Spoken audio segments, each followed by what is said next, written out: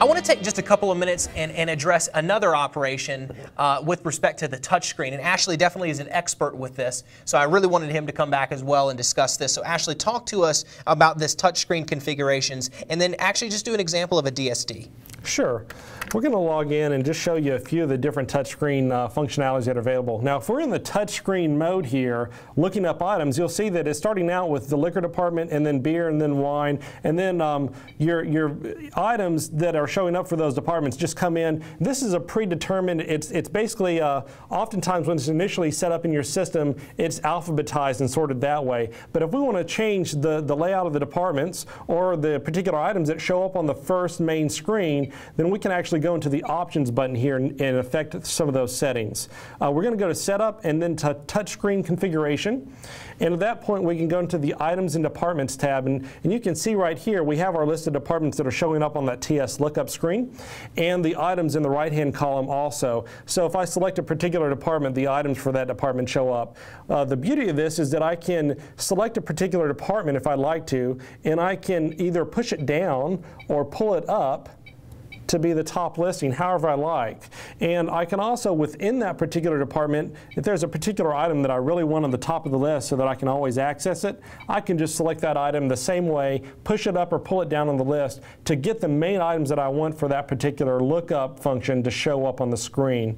Uh, once you complete that, you do need to save and exit. And you are going to have to log out and log back in to actually make those changes display on the, on the TS lookup screen.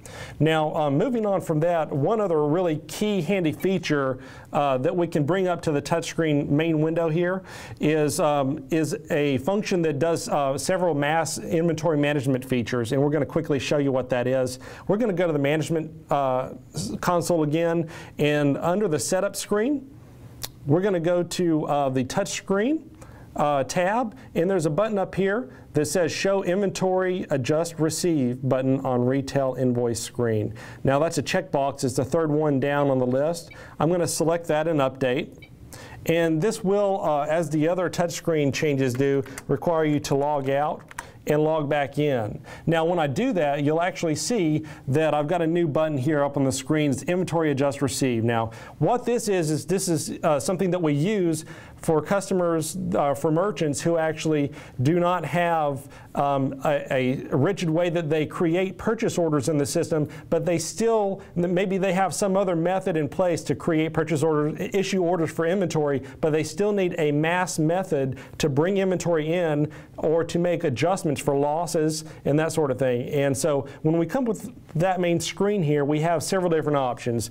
Um, one of the, the two of the probably key features here is we're going to have DSD receipt and DSD credit. DSD is for merchandisers, and um, that's really when they bring in inventory to you and you have a DSD receipt. Uh, now, if they come and take inventory away because it's expired and they need to get it out, that would be a DSD credit.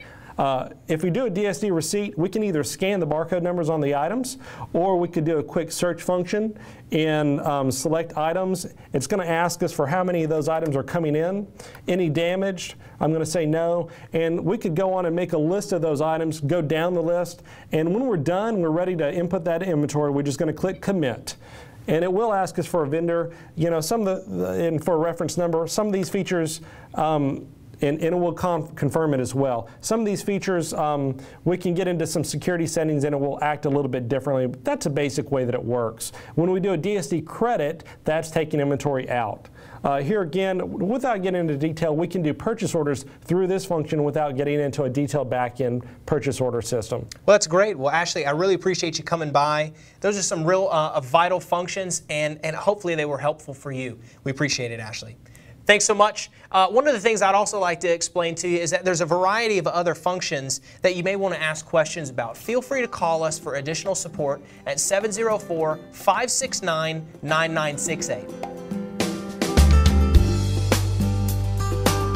I personally want to thank you for watching this DVD of Cash Register Express, and we hope that it was really a, a, comprehensive look at what the software has and what it's available to do for your business. Now, again, you can hop back to any of these other topics and really give yourself a review. But again, thanks so much for watching, and if you have any other questions, feel free to go to POSNation.com or call our support line 704 569 9968. I'm Chris Allen, and thanks so much for watching.